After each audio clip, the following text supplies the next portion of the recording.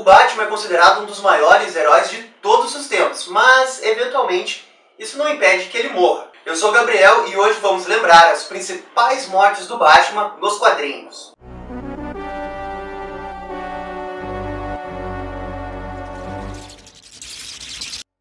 Morrer e ressuscitar é uma rotina que todo grande herói precisa passar nas HQs. E isso não é diferente com o Batman. A primeira morte registrada ocorreu em Batman número 72 em 1952. Nela, o Bruce Wayne descobre um clube secreto de pessoas que enganaram a própria morte. Como ele quer entrar para o clube, se envenena para a morte, apenas para ressuscitar minutos depois. Nessa brincadeira, ele quase matou o Robin do coração. Em 74, na edição 115 de Bravos e Destemidos, ocorre a morte mais bizarra do Homem-Morcego. Ao tentar resgatar uma mulher, Batman acaba se eletrocutando numa cerca até a sua morte. Por sorte, o Dr. Ray Palmer, o Atom, estava por lá e decide entrar no corpo do vigilante para salvá-lo. No fim, mesmo sem muita explicação, os órgãos de Bruce Wayne voltam a funcionar. Que conveniente! Em Batman número 291, lançado em 77, o Homem-Morcego é declarado como morto, e os vilões decidem fazer um tribunal para decidir quem realmente o matou, já que todos se autoproclamam o assassino do herói. Bem, no final, o Batman não tinha morrido de verdade. Holy showcase! Nas HQs, 99% das mortes são ressuscitadas, mas há aquele 1% que se confirma para sempre.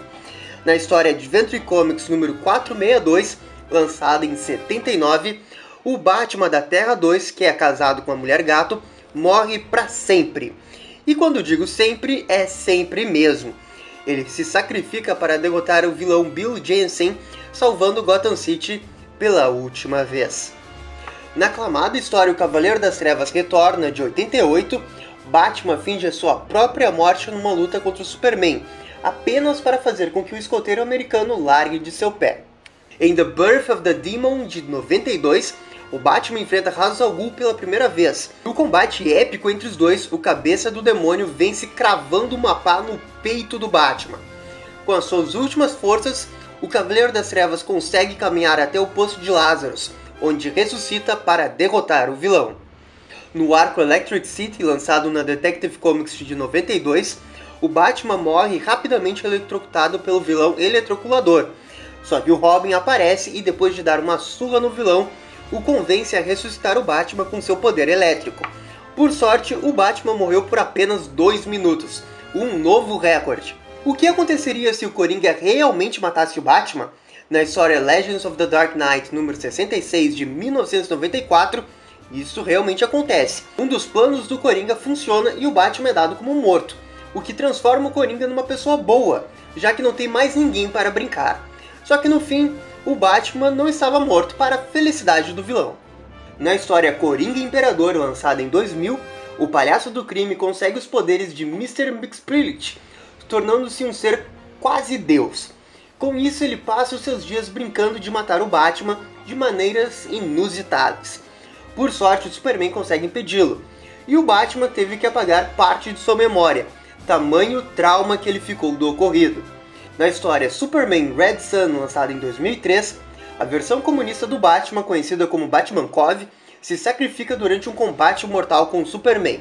No fim, a morte não serviu para muito, mas tornou essa parte da história memorável. No arco Arena Countdown de 2007, os heróis precisam sobreviver enfrentando heróis de outros universos. O Batman da Terra 40, que é o Batman da Segunda Guerra Mundial, morre na tentativa de derrotar o imperador do planeta, chamado Monarch. Na conclusão de Batman Descansa em Paz de 2009, o Batman enfrenta Dr. Hurt, que se auto-intitula Thomas Wayne. No combate final entre eles, Batman pula no helicóptero e impede a fuga do vilão, que culmina com a explosão do veículo, matando os dois. No fim, ele é ressuscitado logo após esse episódio. Meses depois de sua morte em Descansa em Paz, a DC decidiu matar novamente o Batman no arco Crise Final de 2010. Nela, Batman é atingido por uma Time Bullet do Darkseid, que o mata. Porém, ele não morreu de verdade, e sim foi transportado para a Idade da Pedra. Isso mesmo. Assim, ele precisa vencer as eras como Batman de períodos históricos para ressuscitar de vez. No reboot dos Novos 52, o Batman da Terra 2 também morreu de forma definitiva. Durante uma invasão do Darkseid, o Cavaleiro das Trevas se sacrifica para implodir um vírus que derrota todo o exército do Imperador Galáctico de uma vez.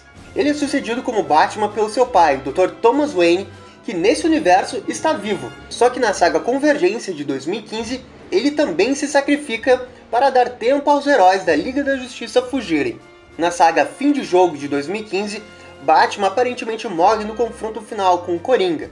Só que na verdade foi uma pegadinha dos escritores, já que na edição seguinte Bruce Wayne é encontrado com vida, só que sem a lembrança de que ele é o Batman.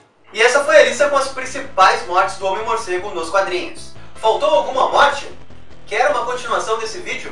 Comente aqui embaixo. E se essa é a primeira vez que você assiste a um vídeo da Batcaverna, nós somos um canal que fala exclusivamente sobre Batmite.